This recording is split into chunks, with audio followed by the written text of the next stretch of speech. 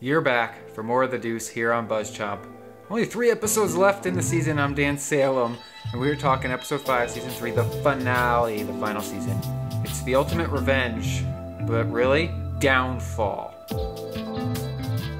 I'm Mandi. I'm Dan. Subscribe to Buzz Chomp. Woo! I like to coin these reactions with a single phrase, and episode 5 was all about the downfall. Yeah, Vinny got his revenge. He took out the drug dealer who killed his brother Frankie. That was kind of to be expected, but in doing so, he lied to his live in lady and told her he wasn't going to go down this path. And then he gave in to the darkness. Bop, bop. He took out the dealer, avenged, avenged his brother. He called out Rudy, who was one of his friends, if you will, closest colleagues, and he murdered somebody. We've kind of seen his ultimate downfall. That being said, now that he's kind of reached that point, I don't see how they could actually tie it back to him in any possible way, unless he was stupid and like dropped something on the scene. So this kind of opens the door for him to go and do the nefarious things Frankie was doing, a la the pornography business, which I really want to see Vinny get into porn before the show is out. It might not happen, but I want to see it. There's only three episodes left, and I kind of thought maybe they'd tease it this episode. But no, we saw Rudy go and visit Frankie's old uh, partner. She's going to keep doing the porn. It seems like a perfect segue for Frankie to work his way in there with Rudy. And now that he's murdered somebody, perhaps. He found out that Frankie was working with Rudy's second in command on the cocaine business. He's going to take that information to Rudy. I have a feeling that means we're going to see another murder next episode. It also means that Frankie's going to get in with, with Rudy, and maybe that opens the door for the porn. I said no happy endings, and Vinny having murdered someone cannot possibly have a happy ending, can he? And then Candy, who we want to believe can have a happy ending, kind of really sees her own downfall in her son. Man, did her son ring her over the fire. Just called her out on her BS and said, You were like, where were you? Why weren't you here? You could have taken care of me. You chose not to.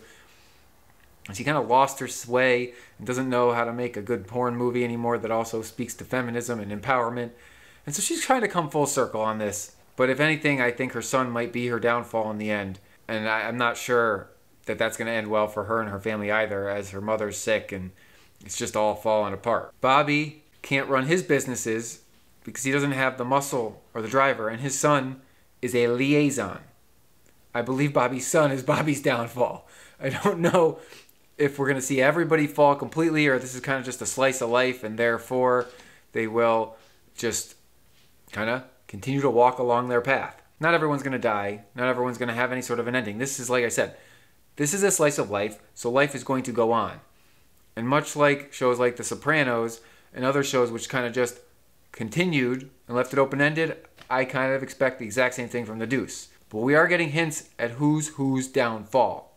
Lori's downfall is an internal struggle. She doesn't have any self confidence and she really doesn't know how to take care of herself. She went and bought a freaking gun because she's afraid of the stalkers. Some of them are real, some of them are fictitious in her mind. That they're not actually there. She has her boyfriend manage all of her money, but he's probably squandering it and stealing it, so she doesn't really have anything to herself. She doesn't know how to take care of herself or stand up for herself. She's not booking jobs for herself, which is understandable at this point in time, but the fact remains her downfall is that she is not self reliant. We saw one of our old prostitutes who became self reliant still struggling with standing on her two feet because of her past. And honestly, you can't escape what you did. You can't escape your past. You can just hope to rise above it. AIDS had another victim, and Paul had to like buddy buddy up with the family, who Todd had never really even introduced him to, let alone associated with for over a decade.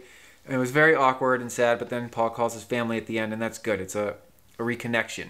And so while AIDS is the downfall of his relationship, it also is a rebirth for his family relationship. I didn't tend this trait towards revenge because ultimately we've seen every character's downfall. If the downfall doesn't kill you, it only makes you stronger. And I believe Candy's getting stronger from her son, Bobby from his son, Paul from the AIDS virus taking out his lover. Lori's to only get stronger when she finds that inner strength. Vinny, I don't know. I don't know where his downfall is leading him. It seems like it's getting darker and darker and darker and darker. Finally, we saw the police kind of owning up to the fact that they were kind of evil and nefarious in their ways, and they aren't really sure where they're going. But there's a plan, right? There's a plan to rebuild and clean up the city. We know the plan works because we're living it today. With only three episodes to go in the final season, what is left for our characters?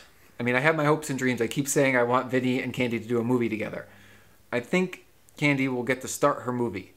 I think that she'll find that this man that she's with is a good love for her.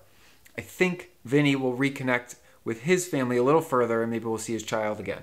I think that Bobby and his son will have a bonding moment. I think that Lori will find that inner strength.